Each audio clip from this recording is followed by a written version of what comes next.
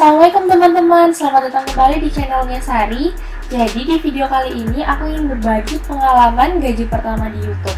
Sebelumnya pengalaman gaji pertama dari Youtube Aku menggunakan akun punya papaku Mutiara Organik, nanti aku tampilin di sini. Nah, di situ aku jadi editor dan salah satu pengelola channel YouTube papaku. Langsung saja, jadi di video kali ini ada 5 poin pembahasan yang akan aku bahas Poin pertama, pastikan monetisasi di channel kamu sudah aktif.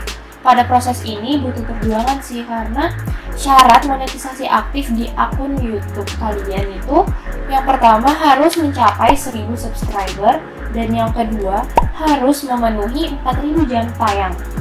Yang mana kalau misalnya punya um, video di YouTube 6 menit terus ditonton sama 10 orang otomatis kan masih 60 menit jadi kalian tuh harus mencapai target 4000 jam.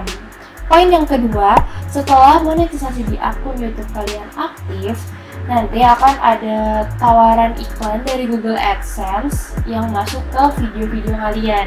Yang mana iklan-iklan tersebutlah menjadi sumber pendapatan di kemudian hari. Poin yang ketiga, login ke akun Google AdSense kalian nanti di akun tersebut kalian bisa memonitor saldo setiap bulan yang masuk itu berapa jadi di Google AdSense itu ada tiga verifikasi yang harus kalian lakukan yang pertama kartu identitas berupa KTP, SIM dan sebagainya. Kalau kemarin aku pakai KTP sih, KTP-nya punya papa aku. Terus yang kedua itu kalian uh, yang saldo atau nomor rekening itu Terus yang ketiga, kalian nanti akan menerima surat dari Google melalui Pos Indonesia yang akan dikirim ke rumah kalian. Nah, di surat itu nanti kalian akan mendapatkan kode verifikasi untuk Google AdSense kalian. Jadi nanti aku uh, cantumin contohnya di sini. Jangan lupa di Google AdSense kalian harus melengkapi data diri kalian, misalnya seperti alamat tempat tinggal, terus nomor rekening yang akan kalian gunakan sama kartu identitas yang akan upload nanti ke Google AdSense. Seingat aku, kalian harus upload foto KTP yang udah di-scan ke akun Google AdSense nanti akan diverifikasi sama pihak Google AdSense-nya. Berikutnya, verifikasi nomor rekening. Nah, di verifikasi nomor rekening ini akan dikirimkan saldo dari Google saldonya itu kurang dari seribu rupiah nanti akan masuk ke nomor rekening yang udah kalian cantumkan saldo tersebut akan menjadi kode verifikasi di akun AdSense kalian. Saran aku kalau misalnya kalian ingin prosesnya lebih dipercepat sama AdSense, kalian tuh harus uh, menggunakan nomor rekening yang pemiliknya sama dengan akun YouTube kalian. Terus kalau misalnya muncul pertanyaan, cara lihat saldo yang TF itu dari Google, kalau aku kemarin itu aku menggunakan mobile banking atau internet banking.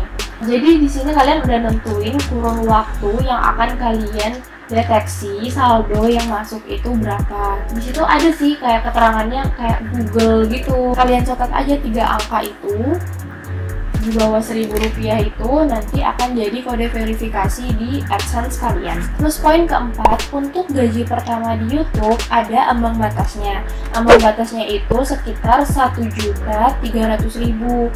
Itu udah ketentuan yang paling uh, minimal yang ditentuin oleh YouTube. Jadi di poin keempat ini saldo kalian itu harus mencapai satu juta tiga ratus dulu baru bisa ditarik untuk gaji pertama kalian. Nah, Poin yang terakhir, apabila saldo kalian sudah mencukupi nilai ambang batas yang ditentukan 1.300 tadi, maka saldo kalian akan ditransfer oleh YouTube ke nomor rekening yang telah kalian cantumkan. Kalau misalnya di bulan, uh, misalnya bulan September, di bulan September ini pada tanggal 23 saldo kalian itu sudah sekitar 1.350.000 berarti kan sudah mencapai nilai ambang batas. Pihak uh, YouTube akan mentransfer saldo kalian di hari kerja mereka. Jadi hari kerja mereka itu Senin sampai Jumat kecuali weekend. Kayak gitu. Terus nanti akan masuk pemberitahuan deh kalau gaji pertama kalian sudah bisa diambil Sekian pengalaman dari aku, semoga bermanfaat. Kalau misalnya kalian suka video ini, jangan lupa like sama klik tombol subscribe-nya. Dan kalau misalnya kalian bingung atau mungkin uh, mau nanya-nanya, Kalian bisa cantumin di kolom komentar di bawah ini. See you in the next video. Bye-bye. 괜찮은 척하지도 않아 그냥 티내고 싶어 그럼 넌 편안하게 날 못대하겠지만